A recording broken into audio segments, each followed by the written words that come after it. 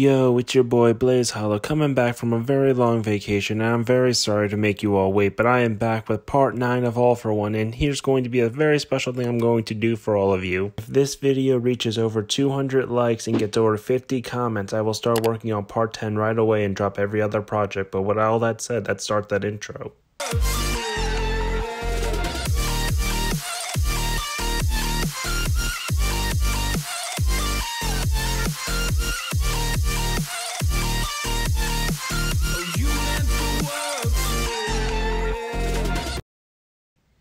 Also be no recap, so if you want to know what happened in the previous part, please go check it out. Endeavor was sitting in his study as his phone was starting to go off. As he picked it up, he heard the voice of someone who wasn't very familiar as he tried to make a deal with him. Who is this before I say anything else? Overhaul looks over at his entire group as they just nod at him to go ahead. This is Overhaul. I want to talk about making a deal with you where I hand over all the information about my organization in exchange for a new chance at life for me and my precepts. Endeavor sat up from his chair as he started to place his right hand on the desk, tapping it as he was trying to think it all over. And what guarantee do I have that this isn't a trap? Is there anything that you could say or do that could convince me otherwise? Overhaul thought it over for a minute as he realized he didn't really have anything until he looked over at All for One. I might actually have someone here who could be able to convince you that I'm willing to go legit. Overhaul then holds up the phone to Izuku, motioning for him to take it, and then he just nods as he then grabs it and gets ready by clearing his throat. Hello, Endeavor. I feel like you should be giving my friend the benefit of the doubt. We were able to come to an agreement over everything. Endeavor just grinned as he wished that he made a bet with his friends about where his sons were going tonight because he would have won. Hello, son. So this is where you ran off to tonight. Are you sure that you're able to trust these people by being able to stand in front of a court and defend them, even if it means ruining your reputation for life? Izuku looks around the entire room, seeing his older brother Overhaul and his entire group as he was finally able to draw on the confidence to say what he needed to. Yes, I'm willing to stand in court to defend Overhaul. I feel like we would be getting a better end of the deal if they ended up changing over to the Hero Society instead of being against us. Plus, we'll be taking a lot of criminals off the street because of this deal. Endeavor was very proud hearing that both of his sons were willing to go against the law just to better the world, showing that they had the great potential to become real heroes one day. Alright, bring them back with you to the house. I'll be calling up some friends to try to get a court meeting by tomorrow morning while also getting a hold of the police group to be ready. Izuku was a little bit confused, wondering why Endeavor wanted Overhaul's group to come over to the house. Are you sure you want me to bring these people to the house? We don't want to freak out everybody else in the family. Endeavor thought about it for a second, but then realized that it's not the weirdest thing that ever happened in this house. It should be fine, plus other pros will know who was here tonight, so I'm not worried. But I should go because I have a lot of phone calls I need to be making right now. Endeavor then hung up the phone before anything else could be said as Izuku let out a deep sigh and then looked over at everybody. He's willing to work with us, but he wants us to go over to his house, so it seems he wants to talk to all of us in person. He is also going to be inviting a bunch of his colleagues along with the police. I know that sounds risky for all of you, but you have to trust me. Rappa got excited, thinking that if everything goes south, he'll get to fight a bunch of strong people. I'm willing to take that risk. Mimic was on the table sitting on its ledge. I'll go wherever the majority of the group is willing to go. Chronostasis was starting to get an uneasy feeling, thinking that this was a setup. I feel like we shouldn't trust this. How do we know you're not throwing us into a trap? Overhaul could see where his second in command was coming from and was wondering what All for One would say to them. I do have to agree with my friend. This does sound like a setup. Izuku had a grin on his face as he walked over to his older brother. The only reason that it's not a setup is because we gain a lot more than you guys do, so if Endeavor and his friends are smart, they'll stick to our plan because if they don't, they're fools. Everybody in the room actually thought about that and realized how foolish it would be for the heroes to capture them when they're trying to convert over to their side. After a few more words back and forth, they decided to head over to the Todoroki household. Upon arriving, they saw two cars in the driveway. As they knock on the door, Rei opens it and was completely surprised to see a bunch of people, especially former villains. Please come in and make yourself at home. Overhaul and his group walked into the house, heading into the dining area, but as soon as Izuku and Toya walked into the door, their mother grabbed both of them by the ear and pulled on them, making them wince out in pain. Do you know how worried I was when I found out that the both of you were involved in this? You could have ended up getting yourself killed. What in your right mind made you think that this was a good idea? Izuku was a little bit terrified to answer, realizing that his new mother was actually a lot more terrifying than normal villains. Listen, I've been dealing with Overhaul for a while now, so I felt like I could trust him. Plus, we had things we needed to discuss anyway, so I just went with it. Toya just felt so humiliated, but he knew he couldn't lie to his mother about this situation. I went with him because I thought it would be better for us if we went as a team. You know, strength in numbers. That way, at least if one of us gets caught, the other one can get away and let somebody else know about what happened to that person. Rei takes a deep breath, realizing that both of her sons had good intentions, but just didn't think about it all the way through. Listen, I know the both of you meant well, but you have to start thinking about the people who care about you and love you. What would have happened if you both died in this situation and none of us knew what happened to you? We would have been worried sick. Rei lets the both of them go and gives them a quick hug as she rushes over to the kitchen to go make snacks for everyone. Izuku and Toya then rejoin up with the entire group of people that they brought here. They see that the room is filled with massive tension from the pro hero Endeavor, Hawks, and Mirko, who were sitting across from the retired villains Overhaul, Mimic, Chronostasis, and Rappa. Endeavor was the first person to break the silence. Alright, seeing that you came here without causing any issues and that both of my sons are not harmed, I'm going to actually hear you out on this. Overhaul looked over at his group feeling a little bit on edge, not used to dealing with pro heroes this way. Well, I guess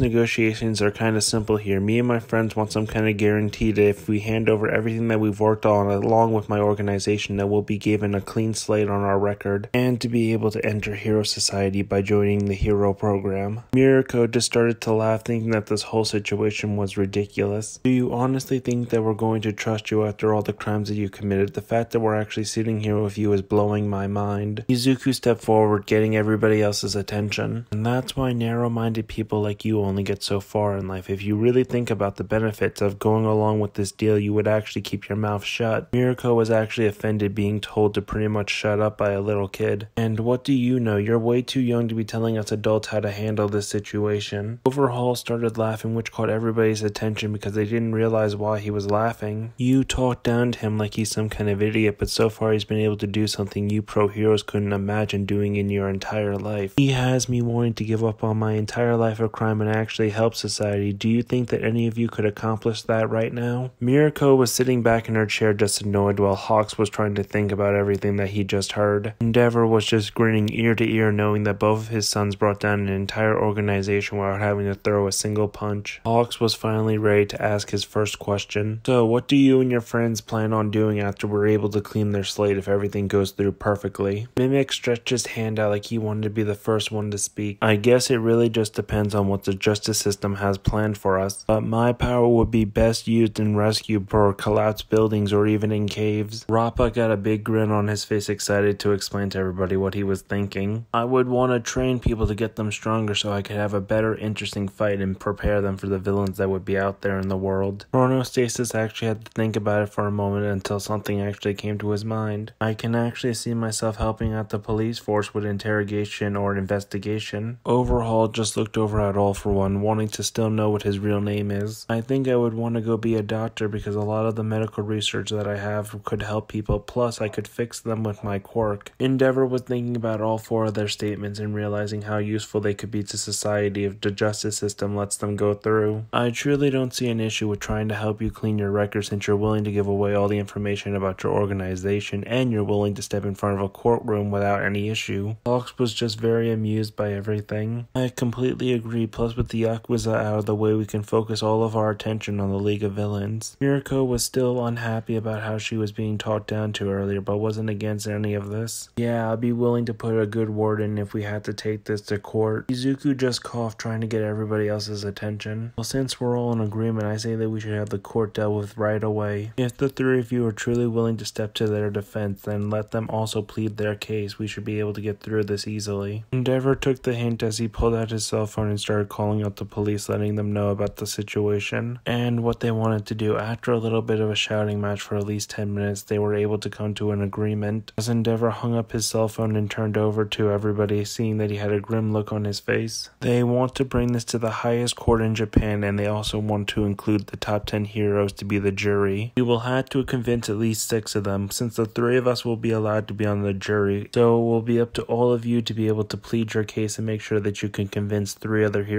because we will not be able to represent you in any way. Overhaul didn't look too surprised realizing that the justice system was against them. I figured that it would end up this way, but if you're willing to indulge me, I might actually have a way to spin this in our favor. Hawks' curiosity was beyond piqued as he stared over at Overhaul with an intense glare. Why do I get an uneasy feeling when I hear you say something like that? It's almost like you know something that we don't. Overhaul looked over at All for One with a grin on his face as both of their thoughts were able to synchronize for a minute as then Izuku started to grin himself. We could also play the card that I saved the life of All for One while he was at the Fight Club, and we could put it on the jury's heels that the pro hero All Might was trying to kill his son in cold blood. Izuku got excited realizing that the pro heroes in the top 10 will probably lose their mind when they hear this. That's true, not only I could be Overhaul's defense attorney, but I could also be a witness to his change, and by the way, my name is Izuku Overhaul. Overhaul was actually surprised that Izuku told him his real name so quickly. That was kind of unexpected, but it's a nice name, and now I'm very excited for this court hearing. Two days passes, everybody was able to get their whole situation prepared as they walk into a gigantic courtroom. Overhaul and his friends were both in handcuffs as they sat down at the table with Izuku standing up in his designer suit with a briefcase and files on the table. As the jury came into the room revealing the top 10 pro heroes, everyone was then sworn in as they took their seat acknowledging the judge. Alright everybody, court is now in session. This is a private matter so we will not be giving this information out to the public until further notice. This is the heroes versus the Yakuza, so do know that this will be a majority rules. You do not have to come to a complete agreement on this entire situation. I will now allow Sir Nighteye to speak in the name of the people. Nighteye stood up from his chair as he walked over to the jury. Okay, according to Overhaul and his associates, they want to clean their slate by writing out their lower ranks and giving up their drug company. But how are we supposed to trust these people? They've done so many crimes and now that they feel that they're against the wall, they beg for forgiveness? I say that we slap the cuffs on them and send them to the deepest parts of Tartarus for the rest of their life. All of the jury start to mutter around each other, giving off their ideas as they see Night Eye go back to his briefcase and pull out a bunch of files and give them to the judge and jury. These files that I'm handing out showcase some of the crimes of his entire organization. It shows that he's done illegal drug use, abuse, murder, the list goes on. I could stand here all day listing off all their crimes, but I feel like I shouldn't have to. Izuku finally felt like he had enough.